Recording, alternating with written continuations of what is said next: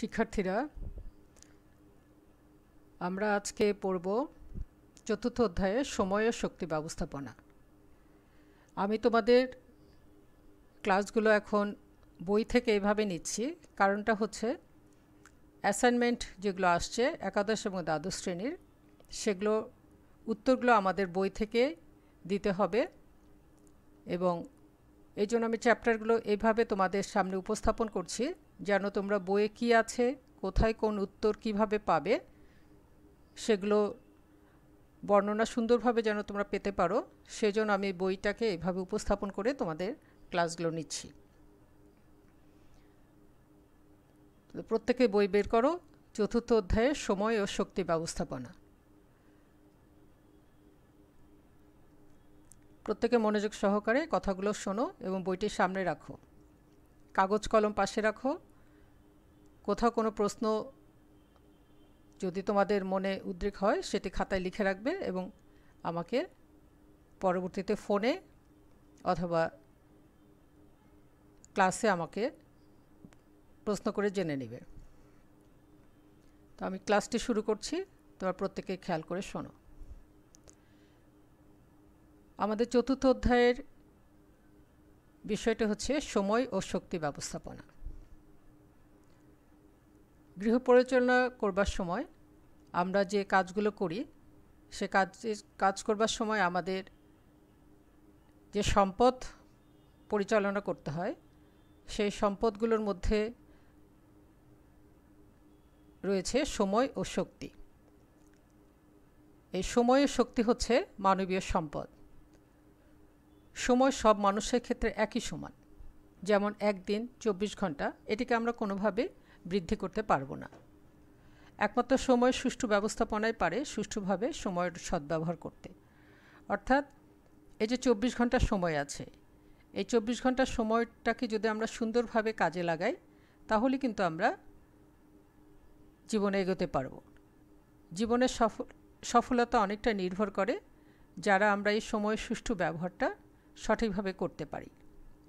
আর শক্তিটাকে শক্তিটা ব্যক্তিবিশেষে পার্থক্য হয়। শক্তি সুষ্ঠু সদ্ব্যবহার প্রতি সবার যত্নবান হওয়া উচিত।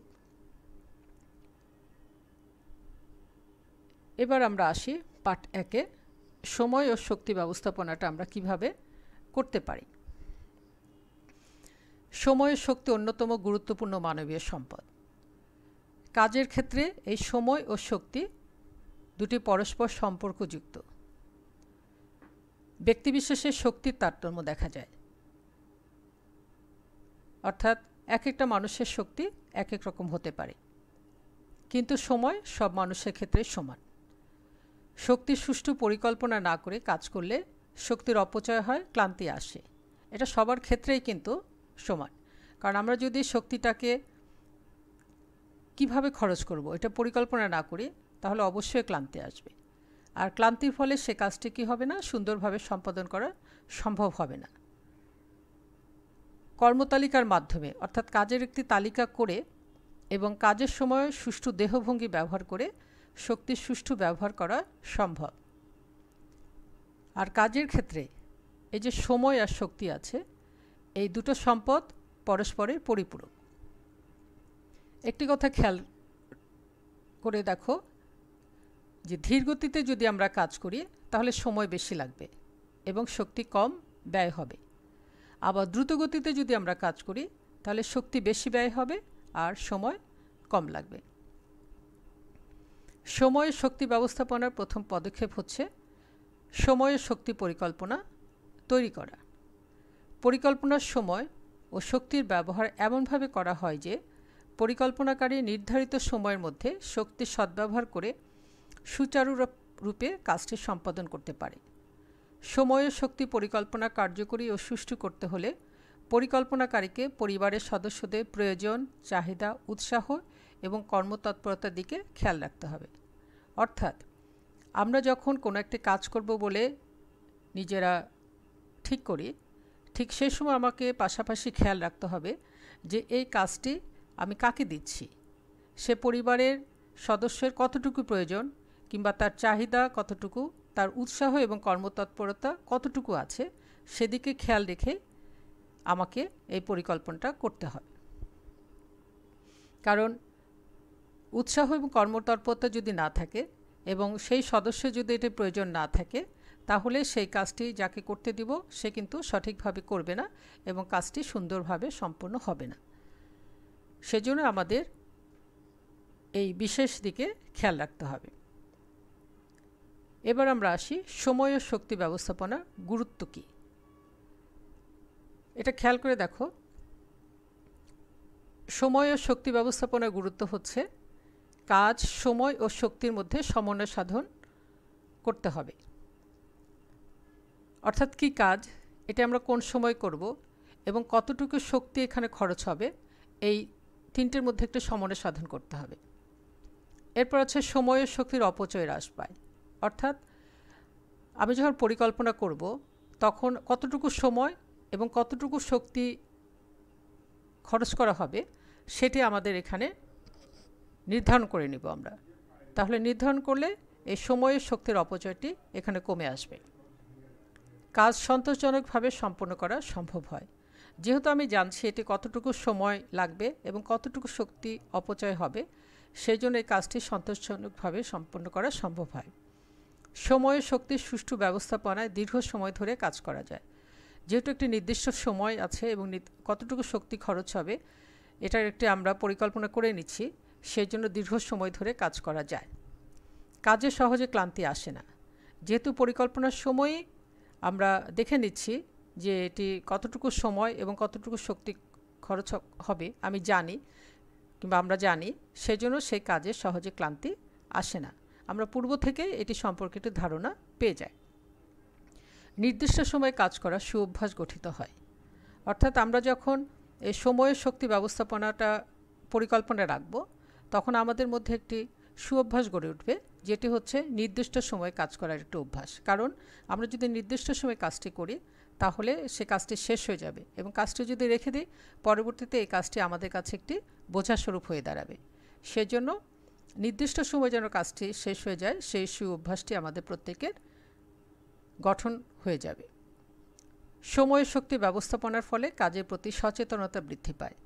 অর্থাৎ সময় ও শক্তি কতটুকু লাগছে, এটি আমার পরিকল্পনায় আছে। ফলে সে কাজের প্রতি প্রতিটি সদস্যের সচেতনতাটা বৃদ্ধি পায়। কার্য বিশ্রামের মধ্যে ভারসাম্য সৃষ্টি হয়। অর্থাৎ আমি কখন কাজ করব, কখন বিশ্রাম নেব, এটি আমার পরিকল্পনার মধ্যে থেকে যায় কিংবা আমাদের পরিকল্পনার মধ্যে থেকে যাচ্ছে। যার কারণে কাজ কাজ করতে করতে আমরা ক্লান্ত হব না এবং বিশ্রাম নিতে নিতেও আমরা অলসতায় ভুগব না। সেই জন্য কাজ ও বিশ্রাম দুটোই পাশাপাশি করতে পারি, যার জন্য কাজ ও বিশ্রামের মধ্যে ভারসাম্য সৃষ্টি হয়। এবার আমরা আসি সময় ব্যবস্থাপনার উদ্দেশ্যটা কি সময় ব্যবস্থাপনার উদ্দেশ্য হচ্ছে, সময় যেহেতু মানবীয় সম্পদ এবং এটি সীমিত এই ব্যবস্থাপনার মাধ্যমে আমরা এর সঠিক ব্যবহারটা করতে পারি। দ্বিতীয়ত হচ্ছে সময় ব্যবস্থাপনার উদ্দেশ্য হচ্ছে জীবনে সাফল্য অর্জন করা। অর্থাৎ সময়টাকে সুন্দরভাবে কাজে লাগিয়ে আমাদের লক্ষ্য, লক্ষ্যে পৌঁছানো এবং লক্ষ্য অর্জন করা যে কারণে আমাদের জীবনে সফলতা আসতে পারে।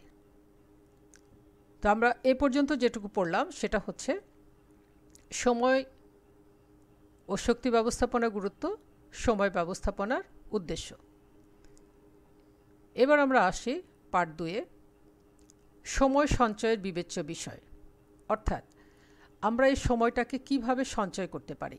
এই সময়টা সঞ্চয় করার সময় আমরা কোন কোন বিষয়ের দিকে বিবেচনা করব? আমরা প্রত্যেকেই জানি সময় একটি গুরুত্বপূর্ণ মানবীয় সম্পদ এবং সময়ের সবচেয়ে বড় বৈশিষ্ট্য হলো এই সীমাবদ্ধতা। অর্থাৎ আমরা চাইলেও এই চব্বিশ ঘণ্টা সময়কে আমরা বৃদ্ধি করতে পারব না। তাই সময় সদ্ব্যবহার খুবই গুরুত্বপূর্ণ বিষয়। সময় সঞ্চয়ে যে বিষয়গুলোর দিকে আমাদের বিবেচনা করতে হবে, সেটা হচ্ছে প্রথমে আমাদের কাজের তালিকা প্রস্তুত করতে হবে। আমি প্রথমে আগে পয়েন্টসগুলো উল্লেখ করে নিব, তারপরে আমি তোমাদের এগুলো বিস্তারিত বর্ণনায় যাব। প্রথমে আমাদের কাজের তালিকা প্রস্তুত করতে হবে, তারপরে হচ্ছে কাজের ধারাবাহিকতা থাকতে হবে সময় তালিকা প্রণয়ন করতে হবে, ভারসাম্য রক্ষা করতে হবে, সময় তালিকা বাস্তবায়ন করতে হবে এবং সর্বোপরি সবশেষে আমাদের মূল্যায়ন করতে হবে। এবার আমি একটু একটু করে তোমাদের এই পয়েন্টসগুলোর ব্যাখ্যা প্রদান করছি। কাজের তালিকা প্রস্তুত। যে কাজগুলো করতে হবে, তার একটি তালিকা প্রস্তুত করতে হবে। এই তালিকায় বর্তমান ও ভবিষ্যতের কাজগুলো আলাদাভাবে লিখতে হবে। অর্থাৎ আমরা যখন সময় সঞ্চয় করব, কোনো একটি কাজ করব, তখন সে পরিকল্পনায় আমার প্রথমে কাজের তালিকা প্রস্তুত করতে হবে। ধরে নাও যে আগামী দিন আমার কি কাজ? তাহলে সেই কাজগুলো গুরুত্ব অনুযায়ী আমাকে কাজগুলো একটা তালিকা করতে হবে যে আমি সকাল থেকে ঘুম থেকে উঠবো, সকাল কয়টায় উঠবো, তখন থেকে শুরু করে আমি রাত পর্যন্ত, ঘুমানোর আগ পর্যন্ত আমার কি কি কাজ, তার একটি তালিকা প্রস্তুত করতে হবে।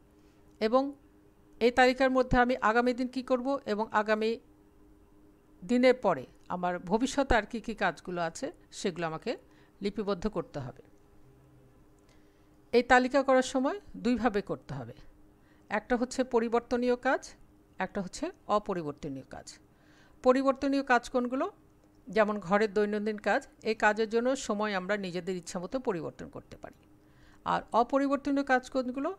যেমন স্কুল কলেজে আমাদের যেতে হবে, অফিসে যেতে হবে, ডাক্তারের সাথে সাক্ষাৎ করতে হবে। এই কাজগুলো যদি আমাদের সঠিক সময় করার জন্য আমাদের সঠিক যে সময়টা আছে দেও যে সময়টা আছে, অর্থাৎ ডাক্তার যদি আমাদের একটি সময় দেয়, সেই সময় আমার সাক্ষাৎ করতে হবে। আমার স্কুল কলেজ অফিসে যাওয়ার যদি একটি নির্ধারিত সময় থাকে, সেই সময় আমাদের যেতে হবে। এরপর আমরা আসি কাজের ধারাবাহিকতা। অর্থাৎ আমি যখন একটি সময় তালিকা তৈরি করব, তখন আমার দেখতে হবে যে কাজের গুরুত্বটা কী? সেই অনুযায়ী আমাকে কাজগুলো ধারাবাহিকভাবে সাজাতে হবে। এক্ষেত্রে যে কাজটি বেশি গুরুত্ব, সেটিকে সামনে রাখতে হবে। তারপরে গুরুত্ব অনুযায়ী, গুরুত্ব, তারপরে যেটা গুরুত্ব কম, সেই কাজটা রাখতে হবে। এরপরে যেটা গুরুত্ব কম সেই কাজটি রাখতে হবে। এইভাবে আমাদের কাজের ধারাবাহিকতাটা তৈরি করতে হবে।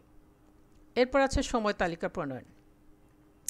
কাজ ও সময়কে ভিত্তি করে যে পরিকল্পনা করা হয়, তার নাম সময় তালিকা। দৈনন্দিন কাজ সুষ্ঠুভাবে সম্পাদন করার জন্য সময় তালিকা একটি গুরুত্বপূর্ণ বিষয়। এ তালিকায় উল্লেখ করে কোন কাজের পর কোনটি করা হবে, ধার একটি ধারাবাহিক বিবরণ থাকে। অনেক সময় প্রতিদিনের কর্ম অভ্যাসের ভিত্তিতেও সময় তালিকা তৈরি করা হয়। আবার নতুন কোনো কর্মসূচির উপর ভিত্তি করেও সময় তালিকা তৈরি করা হয়। অর্থাৎ আমরা যখন সময় তালিকাটা প্রণয়ন করব, তখন কোন কাজের পরে কোন কাজ, সেটার একটা ধারাবাহিক বিবরণ আমরা রাখব। এবং এই কাজটি সাধারণত দেখা যায় যে আমাদের প্রত্যেকে আমরা যে কাজ করে থাকি, তাদের যে কাজের অভ্যাস, তার ভিত্তিতে এটি তৈরি করা হয়ে থাকে। তো আমাদের এইভাবে কাজটা কাজের সময় তালিকা প্রণয়ন করতে হবে। এরপর আছে ভারসাম্য রক্ষা।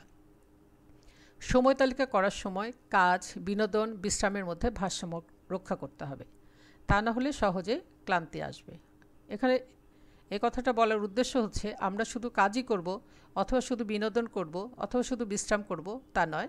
আমরা যেমন কাজ করব, পাশাপাশি আমরা বিনোদনের ব্যবস্থা রাখব, বিশ্রামের ব্যবস্থা রাখব। তাহলে আমাদের ক্লান্তি আসবে না কাজে এবং আমাদের জীবনটা সুন্দরভাবে পরিচালনা করা সম্ভব হবে। এরপর আছে সময় তালিকা বাস্তবায়ন। সময় পরিকল্পনা প্রণয়ন করার পর পরিকল্পনাটি বাস্তবায়ন করতে হবে। সময় সম্পর্কে যে সচেতন, তার জন্য সময় তালিকা বাস্তবায়ন সহজ। সময় তালিকা বাস্তবায়নের সময় যদি হঠাৎ করে নতুন কোনো সিদ্ধান্ত নিতে হয়, তখন সময় তালিকার নমনীয় বৈশিষ্ট্যের জন্য নতুন সিদ্ধান্ত বাস্তবায়ন সহজ হয়। সময় তালিকা বাস্তবায়নে করণীয়, সময় তালিকা অনুযায়ী সব কাজ করা হয়েছে কিনা তা যাচাই করতে হবে, সময় তালিকা বাস্তবায়নের সময় ঘড়ি দেখার অভ্যাস করতে হবে, সময় তালিকা এমন জায়গায় রাখতে হবে যাতে সহজেই নজরে আসে। অর্থাৎ, আমি যে সময় তালিকাটা করলাম সেটা যাচাই করতে হবে যে সেটা ঠিক আছে কি না সময় তালিকা বাস্তবায়ন। আমি যদি ধরে নিই যে এই কাজটা করতে আমার আধা ঘণ্টা সময় লাগবে, তো আমাকে ঘড়ি দেখে দেখতে হবে যে আমি সেই ত্রিশ মিনিটের মধ্যে কাজটি করতে পারছি কি না সময় তালিকা এমন জায়গায় রাখতে হবে যাতে সহজেই নজরে আসে। অর্থাৎ যে ব্যক্তি, যার জন্য যে সময় তালিকা, তিনি সেটা সহজেই তার চোখে যেন পড়ে সেরকম একটা জায়গায় রাখতে হবে অথবা তাকে মনে রাখতে হবে যে আমার এটার পরে এই কাজ। এরপর আছে মূল্যায়ন। মূল্যায়ন হচ্ছে সময় তালিকা অনুযায়ী কাজগুলো ঠিকমতো হয়েছে কিনা তা বিচার করা। সময় তালিকা অনুযায়ী সব কাজ যদি সুষ্ঠুভাবে সম্পন্ন হয়, তাহলে ফল ইতিবাচক। আর যদি না হয়, তবে না হওয়ার কারণ অনুসন্ধান করে ভবিষ্যতের জন্য সচেতন হতে হবে। সময় সঞ্চয় করতে হলে সময় তালিকা প্রণয়ন সম্পর্কে ধারণা থাকতে হবে।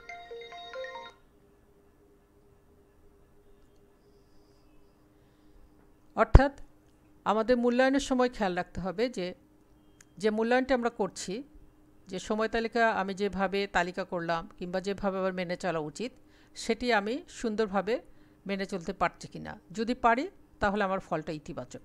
আর যদি এটি আমি না পারি, তাহলে আমার অনুসন্ধান করতে হবে অথবা খেয়াল করতে হবে কোন জায়গায় ত্রুটি আছে, যে কারণে আমি এটি সঠিকভাবে মেনে চলতে পারলাম না। তো এই জন্য আমাকে ভবিষ্যতের জন্য সচেতন হতে হবে। সময় সঞ্চয় করতে হলে সময় তালিকা প্রণয়ন সম্পর্কে ধারণা থাকতে হবে। এরপর আসি আমরা সময় তালিকার মূলনীতিতে। সময় তালিকা প্রস্তুত করতে চারটি মূলনীতির দিকে খেয়াল রাখতে হবে। যেমন, সময় তালিকাটি যেন সহজ, সরল হয়, সময় তালিকাটি যেন নমনীয় হয়, সময় তালিকাটি যেন সম্পূর্ণ হয়, সময় তালিকাটি যেন প্রযোজ্য হয়। এখন এই মূলনীতিগুলোর ব্যাখ্যা দিচ্ছি। সরল ও সহজ কথাটার অর্থ কী? সময় তালিকা সহজ ও সরল হতে হবে যাতে তালিকা অনুসরণ করা সহজ হয়। তা না হলে সময় তালিকা কোনো সুফল বই আনবে না। অর্থাৎ আমি যখন একটি সময় তালিকা তৈরি করব, আমাকে খেয়াল করতে হবে যে এটা এমন কঠিন যেন না হয় যেটা আমি মেনে চলতে পারব না। তো সেই জন্য আমাকে এই সময় তালিকাটা সহজ সরল হতে হবে যেটা আমার কাজের সঙ্গে এবং সম্পৃক্ত এবং যেটা আমি সহজভাবে করতে পারব এবং যেটা আমাকে লক্ষ্যে পৌঁছাতে সাহায্য করবে। দ্বিতীয়ত হচ্ছে নমনীয়। সময় তালিকায় নমনীয়তা থাকতে হবে। সময়কে এমনভাবে বিন্যাস করতে হবে যাতে ওই সময়ের মধ্যে কাজটি সুষ্ঠুভাবে সম্পাদন করা যায়। তৃতীয়ত হচ্ছে সম্পূর্ণ। সময় তালিকাটি সম্পূর্ণ হতে হবে। অসম্পূর্ণ সময় তালিকা ফলদায়ক হয় না। দৈনিক, সাপ্তাহিক ও মাসিক কাজগুলো অন্তর্ভুক্ত করে একটি সামগ্রিক, সুষ্ঠু ও সম্পূর্ণ সময় তালিকা তৈরি করতে হবে। প্রযোজ্য। সময় তালিকা প্রস্তুত করার পর তা প্রযোজ্য হতে হবে, তা না হলে সব প্রচেষ্টায় বিনষ্ট হবে। অর্থাৎ আমরা যখন একটা সময় তালিকা তৈরি করলাম, তখন সেটা যেন অবশ্যই আমরা মেনে চলি, সেই চেষ্টাটা থাকতে হবে। এখানে দেখো তোমরা যে একজন শিক্ষার্থীর একদিনের সময় তালিকা কলেজ চলাকালীন সময় দেওয়া হয়েছে। এটা তোমরা প্রত্যেকেই নিজে নিজে একটা সময় তালিকা বাসায় তৈরি করবে। এখানে ছকটা দেওয়া আছে, দেখো। সকাল, কার্যবিবরণী, সময় পরিমাণ। অর্থাৎ একজন স্টুডেন্ট কি করেছে? পাঁচটা থেকে ছয়টা ঘুম থেকে উঠেছে, হাত মুখ ধুয়েছে, ধর্মীয় কাজ করা, বিছানা গোছানো, ছয়টা থেকে আটটা পড়াশোনা করা, আটটা থেকে নয়টা নাস্তা করা, কলেজে যাওয়ার জন্য তৈরি হওয়া, নয়টা থেকে দশটা কলেজে পৌঁছানো, দশটা থেকে দুইটা কলেজে অবস্থান, দুইটা থেকে তিনটা বাসায় পৌঁছানো, তিনটা থেকে সাড়ে তিনটা ধর্মীয় কাজ ও দুপুরে খাবার গ্রহণ সাড়ে তিনটা থেকে পাঁচটা বিশ্রাম করা, নিজের কোনো কাজ করা, ধর্মীয় কাজ করা। পাঁচটা থেকে সাড়ে ছয়টা গল্প করা, মা, বাবা, ভাই, বোনকে সঙ্গ দেওয়া টিভি দেখা, বেড়ানো। সাড়ে ছটা থেকে সাতটা ধর্মীয় কাজ ও হালকা নাস্তা করা। সাতটা থেকে দশটা পড়াশোনা করা। দশটা থেকে এগারোটা রাতের খাবার গ্রহণ, ধর্মীয় কাজ করা, ঘুমের জন্য প্রস্তুতি। এগারোটা থেকে পাঁচটা ঘুম।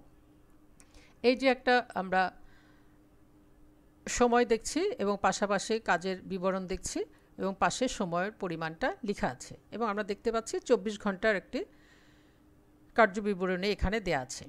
তো এই কার্যবিবরণী এখানে উদাহরণস্বরূপ দেওয়া আছে, এখন তোমরা প্রত্যেকে এটা নিজের নিজের মতো করে এখানে তোমাদের যার যার কার্যবিবরণী এইভাবে একটি করে একটি সময় তালিকা তৈরি করবে। একটি তৈরি করবে কলেজ চলাকালীন, একটি তৈরি করবে ছুটির দিনে। এবার আমরা আসি পার্ট তিন। শক্তি সঞ্চয় বিবেচ্য বিষয়। এতক্ষণ আমরা পড়লাম সময় তালিকা সম্পর্কে। এবার আমরা আসি শক্তি সঞ্চয় বিবেচ্য বিষয়, অর্থাৎ কীভাবে আমরা শক্তিটা সঞ্চয় করতে পারি। সময় যেমন মানবীয় সম্পদ, সেরকম শক্তিও হচ্ছে মানবীয় সম্পদ। যে কোনো কাজ করার জন্য আমাদের শক্তির প্রয়োজন হয়। আর এই শক্তি আমরা কোথা থেকে পাই? এই শক্তি আমরা খাদ্য থেকে পেয়ে থাকি। এবং আমরা জানি প্রতিটা ব্যক্তির শক্তির তারতম্য রয়েছে। অর্থাৎ এক একজন ব্যক্তির এক এক ধরনের শক্তি তার শরীরে বিদ্যমান থাকে এবং এই শক্তিটা নির্ভর করে কৃষ্টি, অভ্যাস, দৈহিক কাঠামো, পেশা ইত্যাদির উপর। ব্যক্তিবিশেষে অবশ্যই শক্তির তারতম্য হতে পারে। শক্তির সুষ্ঠু ব্যবহারের দিকে আমাদের প্রত্যেকেরই যত্নবান হওয়া আবশ্যক। কাজ করার সময় যদি আমরা শক্তি ব্যবহার করি সুন্দরভাবে, যাতে অল্প শক্তি ব্যয়ে অধিক সময় ধরে কাজ করা যায়। এতে কাজে ক্লান্তি বা অবসাদ সহজে আসবে না। এই সুষ্ঠুভাবে শক্তির ব্যবহার করতে হলে আমাদের কিছু বিষয় বিবেচনা করতে হবে। তো এখানেও আগে আমি পয়েন্টসগুলো উল্লেখ করি, তারপরে আমরা এটার ব্যাখ্যায় যাব। সুষ্ঠুভাবে শক্তির ব্যবহার করতে হলে আমাদের কোন কোন বিষয়ের দিকে বিবেচনা করতে হবে? প্রথমেই হচ্ছে ধারণা এরপর আছে ব্যক্তিগত পছন্দ, তারপরে আছে পরিবেশ, সুষ্ঠু দেহভঙ্গি, একঘেয়েমি রোধ করা, উপযুক্ত সরঞ্জাম, অভিজ্ঞতা, কাজের ধারাবাহিকতা, তৃপ্তি। অর্থাৎ ধারণাটা কি? ধারণা হচ্ছে আমরা যখন শক্তি ব্যবহার করব কোনো একটা কাজ করার সময়, আমাদের খেয়াল করতে হবে সেই কাজ সম্পর্কে পরিষ্কার ধারণা থাকতে হবে। যেমন, কাজটি কী ধরনের, কীভাবে করতে হয়, কাজটি করতে কত সময় ব্যয় হবে, ইত্যাদি। কারণ কিছু কাজের জন্য শক্তি বেশি ব্যয় হতে পারে, আবার কিছু কাজের শক্তি কম ব্যয় হতে পারে। তা আমাদের যদি ধারণা থাকে যে এই কাজে আমাদের কতটুকু শক্তি খরচ হতে পারে, তাহলে আমাদের, আমরা মানসিকভাবে প্রস্তুতি নিয়ে কাজটা শুরু করতে পারি। এরপর আছে ব্যক্তিগত পছন্দ। যে যে যে ধরনের কাজ করতে পছন্দ করে, তাকে সেই ধরনের কাজ করতে দিতে হবে। তাহলে কি হবে? কাজটি সুন্দর হবে এবং সময় ও শক্তির সুষ্ঠু ব্যবহার হবে। কারণ ব্যক্তিগত পছন্দ যদি না থাকে, কেউ যদি সেই কাজটি করতে পছন্দ না করে, তাহলে তাকে দিয়ে সেই কাজটি করালে সে কাজটির ফলাফল সুন্দর হয় না। কারণ সে ব্যক্তিটি সে কাজটি বিরক্ত সহকারে করে। আর যদি ব্যক্তির পছন্দ অনুযায়ী কাজটি হয়, কাজটি সে আনন্দের সঙ্গে করতে পারে এবং তার সে কাজটির ফলাফলটা ভালো হয়। এরপর আমরা আসি পরিবেশ। যে যে কোনো কাজে আমরা করি না কেন, সে কাজের উপযুক্ত পরিবেশ হতে হবে। কাজের পরিবেশ যদি উপযুক্ত না হয়, পর্যাপ্ত আলো বাতাস না থাকে, কাজে বিরক্তি আসে এবং সময় শক্তি বেশি ব্যয় হয়। এরপর আছে সুষ্ঠু দেহভঙ্গি। কাজের সময় সুষ্ঠু দেহভঙ্গি ব্যবহার করলে শক্তি কম ব্যয় হয়। আরামদায়ক ভঙ্গিতে কাজ করলে পেশির উপর চাপ কম পড়ে, ফলে অধিক সময় ধরে কাজ করা যায়। এরপর আছে একঘেয়েমি রোধ। একই ধরনের কাজ করলে কাজে বিরক্তি আসে এবং কাজে আনন্দ পাওয়া যায় না। তাই যে কোনো কাজ করতে গেলে যদি সেটা একঘেয়েমির ধরনের কাজ হয়, তাহলে সে কাজে নতুন নতুন পদ্ধতি প্রয়োগ করা যেতে পারে। যেমন গান শুনতে শুনতে, হালকা নাস্তা খেতে খেতে আমরা যদি সে কাজগুলো করি, তাহলে কাজে আনন্দ পাওয়া যেতে পারে, একঘেয়েমিটা দূর হয়ে যাবে। এরপর আছে উপযুক্ত সরঞ্জাম। যে আমরা যে কোনো কাজ করি না কেন, সেটা যদি সেই কাজের উপযোগী সরঞ্জাম ব্যবহার করে আমরা কাজ করি, তাহলে কম সময় এবং কম শক্তি ব্যয় হয়। কাজে, কাজ করে আরাম পাওয়া যায়। এরপর আছে অভিজ্ঞতা। অভিজ্ঞতা থাকলে যে কোনো কাজ করা সহজ হয়। কারণ সেই কাজটি ব্যক্তির একবার করেছে এবং পরবর্তীতে সেই কাজটি কীভাবে করা যায় এবং কত সহজে করা যায়, সেই ধারণাটি তার থাকে, সেই অভিজ্ঞতার আলোকে তার সেই কাজ করতে গেলে সময়ের শক্তি কম ব্যয় হয়। আর কাজে অভিজ্ঞতার অভাব থাকলে কাজের সময় ও শক্তি বেশি ব্যয় হয়। এরপর আছে কাজের ধারাবাহিকতা। কাজকে এমন ধারাবাহিকভাবে সাজাতে হবে যাতে একটি ভারী কাজের পর একটি হালকা কাজ থাকে। হালকা কাজের শক্তি কম ব্যয় হয়, ভারী কাজের শক্তি অধিক ব্যয় হয়, তাই হালকা ও ভারী কাজের মধ্যে সামঞ্জস্য রেখে চললে শক্তি ব্যবহার সুষ্ঠু হয়। এরপর আছে তৃপ্তি। যে কাজ তৃপ্তিদায়ক, তা সহজেই করা যায়, আর যে কাজে তৃপ্তি পাওয়া যায় না, সে কাজ করতে সময় ও শক্তি বেশি ব্যয় হয়। আমরা এখানে কি দেখতে পেলাম? আমরা শক্তি সঞ্চয় বিবেচ্য বিষয়গুলো পড়লাম এবং আমরা দেখলাম যে কি উপায়ে কাজ করলে শক্তি সুন্দরভাবে সঞ্চয় করা সম্ভব হয়। এরপরে আসি আমরা পার্ট চারে সময় ও শক্তি ব্যবহারের প্রভাবকসমূহ। অর্থাৎ সময় ও শক্তি ব্যবহার করার সময় কোন কোন বিষয়গুলো আমাদের কি করে? প্রভাব বিস্তার করে। সময় শক্তি যথে যথোপযুক্ত ব্যবহার না করতে পারলে ক্লান্তির উদ্রেক হয়। ক্লান্তি যে কোনো কাজে প্রতিবন্ধকতা সৃষ্টি করে। এই প্রতিবন্ধকতা দূর করতে হলে সময়ের শক্তির সুষ্ঠু পরিকল্পনা করা আবশ্যক। কতগুলো বিষয় আছে যা সময়ের শক্তির ব্যবহারকে প্রভাবিত করে? বিষয়গুলো হচ্ছে, আমি আবারও ব্যাখ্যায় যাবার আগে তোমাদের এই পয়েন্টসগুলো আগে উল্লেখ করে নিই, পরে আমরা ব্যাখ্যায় যাব। এই বিষয়গুলো হচ্ছে পরিবারের আকার ও গঠন, পরিবারের আয়, গৃহ জীবনযাত্রার মান, বাসস্থানের অবস্থান, গৃহের আভ্যন্তরীণ সাজ সরঞ্জাম। তাহলে প্রথমে আসি যে আমরা যখন আমাদের এই সময় শক্তির ব্যবহারগুলো করব,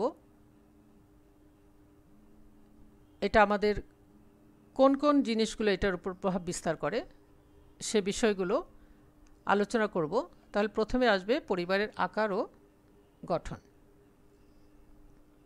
পরিবারের আকার ও গঠন সময়ের শক্তির ব্যবহারকে প্রভাবিত করে। বড় পরিবারে কাজের সমবন্টন না হলে সময়ের শক্তির অপচয় হয়। পরিবারে কর্মক্ষম ও প্রাপ্তবয়স্ক লোকের সংখ্যা বেশি হলে সময়ের শক্তির সমবন্টন সম্ভব হয়। অর্থাৎ যদি আমাদের পরিবার আকার বড় হয় এবং আমরা দেখি যে কাজ করার লোক কম, কিন্তু লোক সংখ্যা বেশি। তাহলে কি হচ্ছে? যারা কাজ করবে, সে কাজ করার লোক কম হয়, কিন্তু সে পরিবারের লোক সংখ্যা বেশি থাকায় এই কয়েকজন লোকের উপরে চাপ পড়ে। আর যদি পরিবারে কর্মক্ষম প্রাপ্তবয়স্ক সংখ্যা বেশি হয়, তাহলে সময়ের শক্তি সমবন্টন সম্ভব হয় এবং সবার উপরে কাজের চাপটা পড়ে না। এরপর আছে পরিবারের আয়। পরিবারের আয় পর্যাপ্ত হলে শক্তি ব্যয় কম হয়। উন্নত মানের ইলেকট্রনিক যন্ত্রপাতি ও সেবা দ্বারা সহজেই সময়ের শক্তি লাঘব করা যায়। আবার অপর্যাপ্ত আয় বাড়াতে হলে প্রকৃত আয় বৃদ্ধি করতে হয়। এতে বেশি সময় ও শক্তি ব্যয় করতে হয়। এরপর আছে গৃহে জীবনযাত্রার মান। পরিবারের ঐতিহ্য রীতিনীতি রক্ষা করতে এবং জীবনযাত্রার মান উন্নত করতে হলে সময়ের শক্তির ব্যবহার বাড়াতে হয়। এরপর আছে বাসস্থানের অবস্থান। বাড়ির কাছাকাছি হাটবাজার, স্কুল, কলেজ, হাসপাতাল, ব্যাংক, অন্যান্য নাগরিক সুবিধা থাকলে সময়ের শক্তির ব্যয় কম হয়। নাগরিক সুবিধাদি যেখানে কম, সেখানে উপযুক্ত সুবিধাদি পেতে অনেক সময় শক্তি ব্যয় করতে হয়। এরপর আছে গৃহের অভ্যন্তরীণ সাজ সরঞ্জাম। প্রয়োজন অনুযায়ী গৃহের অভ্যন্তরীণ সাজ সরঞ্জামের সংগ্রহ এবং সুন্দরভাবে বিন্যাসের উপর শক্তির ব্যবহার নির্ভর করে। পারিবারিক সদস্যদের কর্মতৎপরতা। চাকরিজীবী পরিবার সময় শক্তির ব্যবহারে বেশি সচেতন ব্যবসায়ী ও কৃষক পরিবারের সময় শক্তির ব্যবহারে মৌসুম অনুযায়ী তারতম্য ঘটে। ঋতু পরিবর্তন। ঋতু পরিবর্তন শহরাঞ্চলে খুব বেশি প্রভাব বিস্তার করে না। গ্রামে ফসল কাটার মৌসুমে অনেক সময় ও শক্তি ব্যয় হয়, তা না হলে সময় মতো ফসল সংগ্রহ সম্ভব হয় না। তো আমরা দেখতে পেলাম পার্ট চারে যে সময় ও শক্তি আমাদের ব্যবহারের ক্ষেত্রে আমাদের কোন কোন বিষয়গুলো প্রভাব বিস্তার করে।